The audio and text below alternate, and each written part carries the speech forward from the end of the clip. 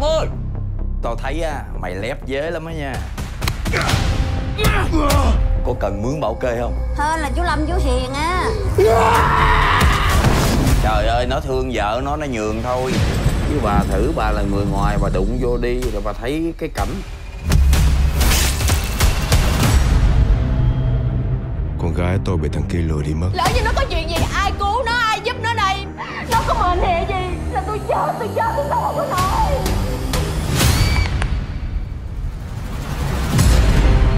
anh cần tìm nó đang ở đây. Nếu mà tìm được nó Anh tính làm gì?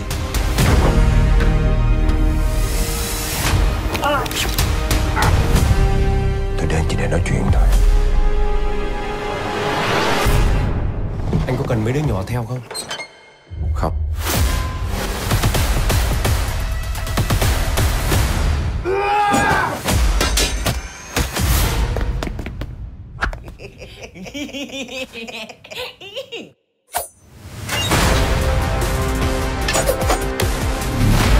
Chúng ta ai rồi cũng phải trả giá cho lỗi lầm của mình.